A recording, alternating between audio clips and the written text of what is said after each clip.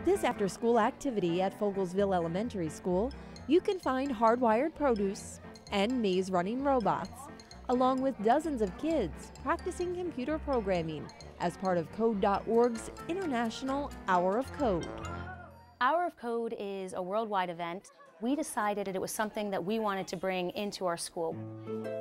We see the value of giving the children opportunities to explore coding, and it's really a 21st century learning skill that we want them to have to be able to go out into the workforce after they leave us. All right, let's see. So we'll, what we'll do is we'll go step by step. Organized by media specialist Samantha Edwards, Fogelsville alone saw more than 600 students participate in one week many of them as young as five years old. Kindergartners can code? Well, yeah, they can. All grades were represented, and what was really neat is you can just see the excitement in their face that they were able to figure it out. A decade ago, who would have thought that kids as young as five are doing computer science, even at its smallest level?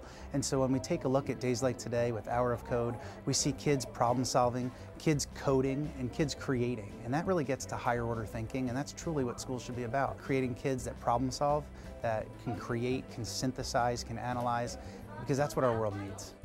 In every nook of the Media Center, students tested their technology skills. And the best part about it is the Code.org program created it to make it kid-friendly, and the kids really bought into it. I'm Varshan, and I'm in second grade in Fogelsville Elementary School.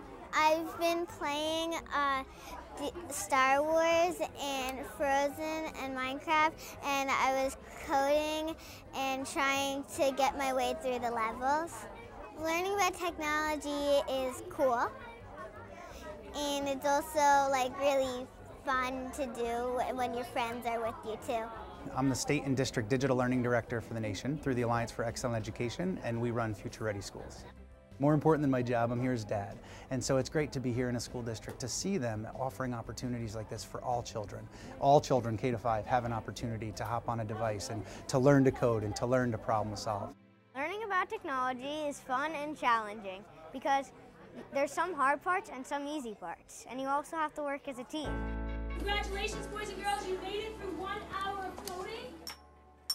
But Mrs. Edwards and her students didn't stop after one hour. In our media center, we've created a separate section, and in this section, we have a makerspace. And we're really proud of all the STEAM-related activities that we have. As part of a pilot program for Parkland School District, students can choose from a dozen stations and a variety of creative technology tools. Here we have Rosella, and she's actually playing the piano on Brussels sprouts. While some students make music, others can create virtual stories using computer programs and even green screens. Score! While others, like Jason, can practice mechanics, robotics, and more. Left turn. His name's Meccanoid and he can do a lot of things like move forward and dance. A few months ago, many of the students had little to no programming experience. Yet they recently placed in the top 10 in a national robotics competition, showcasing just how much they can learn in a short period of time. We're going to try to make the ollie go through here and knock down the yellow brick wall. It took about five minutes and several adjustments, but on the 10th try, Timber, there's always that moment when it works perfectly and you're just in awe of how, how crazy it is. And that's exactly the reaction educators here hope for as they encourage and equip the next generation of innovators.